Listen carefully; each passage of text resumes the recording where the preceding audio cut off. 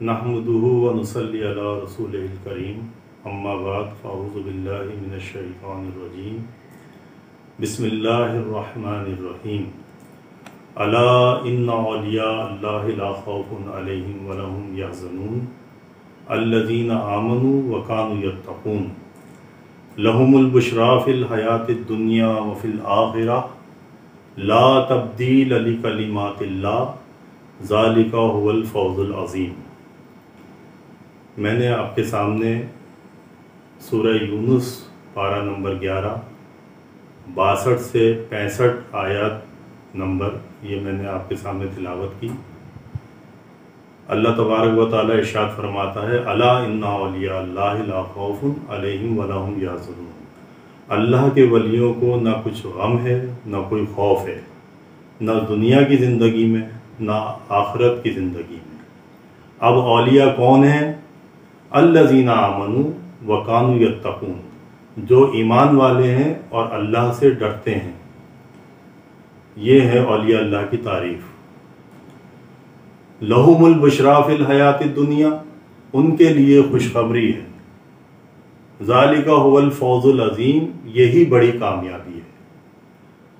मैं इस वक्त सैयद आमिर अली, शाह कादरी दरगाह सैयद अशरफ अली शाह कादरी खानका आलिया कादरिया, रज़ाकिया मुजदिया से मुखातिब हूँ।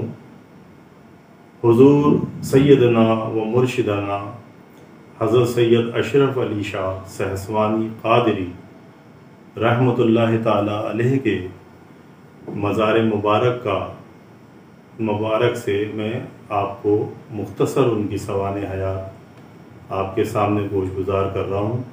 अल्लाह ताला हमारे दिलों को ईमान और अकायद में बेहतरी और क़वत अता फरमाए। हज़रत का तारुफ आपके दादा हज़रत सैयद सुल्तान अली शाह, ये अरब से हिजरत फरमाकर दिल्ली तशरीफ़ लाए और दिल्ली में अपनी खानका तामीर फरमाई। अट्ठारह सौ अट्ठावन के गदर में जो अंग्रेज़ों ने किया, उसमें आपकी खानका और आपके कुतुब खाने को काफ़ी नुकसान पहुँचा। और अट्ठारह के गदर में आप साहिब मज़ार के वालिद सैयद अमान अली शाह कादरी रहमा, उस वक्त नौ से दस साल की उम्र के थे। आपने हिजरत फरमाई, दिल्ली से काफ़िले दल काफ़िले इधर उधर जा रहे थे तो आप एक काफ़िले के साथ हुए और बदायूं शहर, बदायूं शरीफ पहुँचे। और वहाँ का एक कस्बा है सहसवान। वहाँ आपने मुस्तकिल सकूनत इख्तियार की। मुख्तसर ये है कि वहाँ पर आपके, आपकी विलादत हुई। हज़रत सैद अशरफ अली शाह सहसवानी कादरी रहमा की विलादत। 1305 हिजरी में आपकी विलादत बासादत हुई। इब्तदाई आपने ूम ज़ाहरी अपने वालिद मोहतरम से हासिल किए और पेशे के हिसाब से आप हकीम थे तो आपने मतब में बैठना शुरू किया। कम उम्री से और वहाँ हमत की तालीम ली अपने वालिद से। उसके बाद आपने राह खुदा में घर को खैरबाद कहा और आपने सफ़र इख्तियार किया। मुख्तसर ये कि आप होते होते हिंदुस्तान में चलते चलते चलते आप बर्मा पहुँचे, वहाँ आपके शेख कामिल थे, हज़रत जहूर शाह सहराई कादरी अल रहमा, उनसे आप बेहद हुए। बेहद होने के बाद नौ महीने उन्होंने मांडले के जंगलात में आपको अपने साथ रखा और तमाम बातनी ूम से बहरावर फरमा कर आपको रुखसत किया। ये आपकी मुख्तसर सी ख़ानदानी हालात हैं। उसके बाद आपने कानपुर शहर को अपना मस्कन बनाया मुर्शिद के हुक्म से और वहाँ लोगों को आपने तालीम फरमाई। आपके मुर्शिद ने हुक्म दिया कि आप गौसबाग के दरबार में हाजिर हों, वह खिलाफत आपकी मुंतज़र है। आप बगदाद शरीफ पहुँचे, पैदल सफ़र आपने अख्तियार किया है, और बसरा पहुँचे, बसरा इराक़ का दारुल खिलाफा, इराक़ का बंदरगाह है, और बगदाद उसका दारखिलाफ़ा है। बसरे में आपने फिर पैदल सफ़र इख्तियार किया, दरबार गौसे पाक में हाज़िरी दी। उस वक्त के नकीबुल अशरफ, कलीद बरदार, सैयद अहमद शरफुद्दीन अलगिलानी रहमा की खिदमत में हाजिर हुए। और वहाँ आपको खिलाफत से नवाजा गया और वहाँ से आपने पैदल सफ़र हज किया। इसी तरह तीन पैदल हज किया आपने और फ़कीरी इख्तियार करते हुए बहुत से अलिया कराम से इकतसाब फैज़ किया और वहाँ से होते होते आपने इसी तरह ज़िंदगी में 25 हज की शहादत हासिल की। ये आपका सफ़रनामा है जो मुख्तसर है।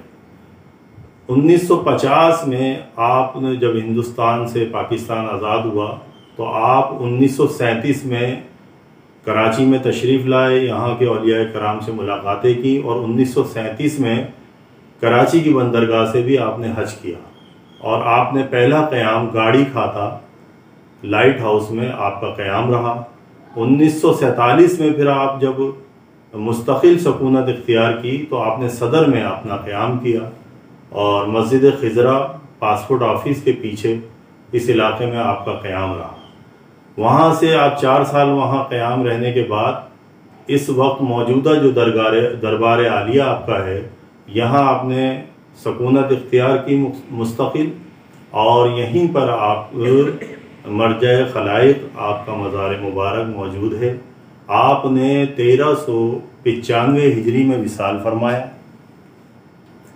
और आपकी वसीयत के मुताबिक आपके हजरा हजरा मुबारक में ही आपको, आपकी तदफीन अमल में आई और आप बड़े बाकरामत और बा बुज़ुर्ग थे, बहुत ज़्यादा आप जलाल और कैफियत में रहते थे। बेशुमार करामतें आपसे मनकूल हैं। एक करामतों में एक करामत ऐसी ख़ास है कि आप अपने मुरीद और अपने मतदीन मुतवसलिन से बाखबर रहते थे और उनकी हर मुमकिन इमदाद और उनसे मोहब्बत और उनसे ऐसा सलूक था कि जहाँ पर भी कोई मौजूद हो, वो आपसे इकतसाब फहज करता था। लिहाजा जिस दरगाह आलिया में आप मौजूद हैं, यहीं आपका विसाल हुआ। जुमे का दिन था, फजर का वक्त, आपने विसाल फरमाया। जामा मस्जिद आसिफिया हमारी दरगाह से जनूब की तरफ़ वाक़ है। इसमें उस वक्त कंबल पोश निज़ामी सिलसिले के बुज़ुर्ग सैयद अली अकबर निज़ामी रहमा ख़तीब व इमाम थे। उन्होंने आपकी नमाज़ जनाजा पढ़ाई जुमे में और आपके मंबर पे पहुँच के बहुत तारीफ़ी कलेमात कहे आपकी विलायत के लिए और फिर उसके बाद आपकी तदफीन अमल में आई बेशुमार मुरीदीन मतदीन मुतवसलिन को आपने छोड़ा। आपके सज्जादा नशीन अव्वल, मेरे मुर्शिद कामिल, हज़रत अलहाज मियाँ बशीर अहमद ख़ान कादरी रहमा हुए, जिन्होंने आपके साथ 25 साल आपकी हयात मुबारक में सात ज़िंदगी गुजारी और 28 साल दरगाह शरीफ की खिदमत अंजाम दी और 2003 में उनका विसाल हुआ। उन्होंने मुझे खिलाफत से नवाजा और बहुत शफकत फरमाई।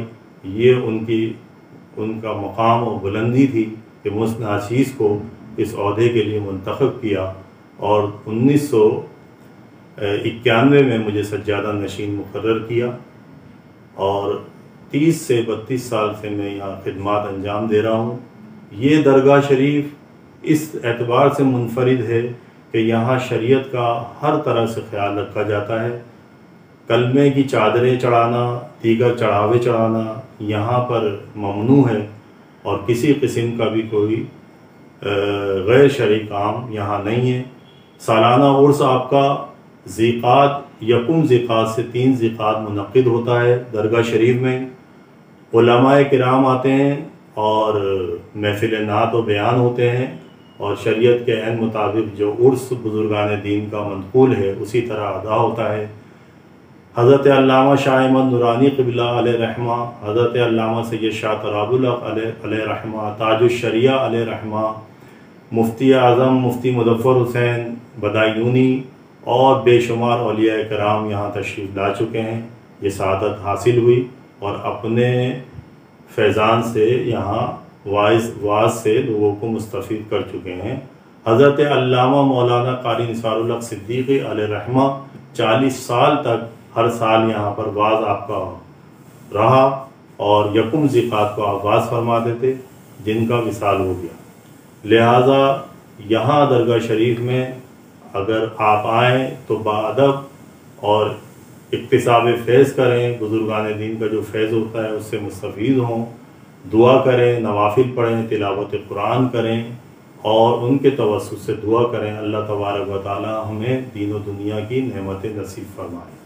तो आखिर दावाना अनिलहमदिल्ला मज़ार शरीफ ये मंगो पीर रोड, आसिफ कॉलोनी कहलाती है ये मंगो पीर रोड है, पाक कॉलोनी कराची, और अलमारूफ काले बाबा का मज़ार मशहूर है, क्योंकि आप काला लिबास जेबतन फरमाते थे, इससे आम मशहूर हो गया कि काले बाबा का मज़ार। रोड पे बोर्ड लगे हुए हैं, और यहाँ की लोकेशन बहुत आसान है ये पुराना गोलीमार और पाक कॉलोनी के दरमियान एक अंदर आबादी में रोड जा रहा है और उस बस्ती का नाम है आसिफ कॉलोनी।